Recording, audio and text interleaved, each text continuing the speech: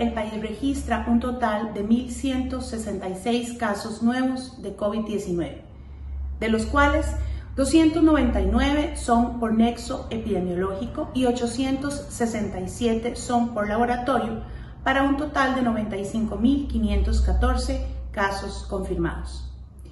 520 personas se encuentran hospitalizadas, 217 de ellas en unidades de cuidados intensivos, con un rango de edad que va de los 1 a los 91 años.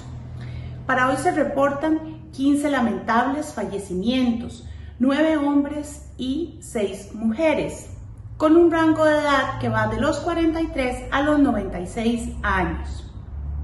En total se contabilizan 1.183 defunciones asociadas a COVID-19 con un rango de edad que va de los 9 a los 100 años.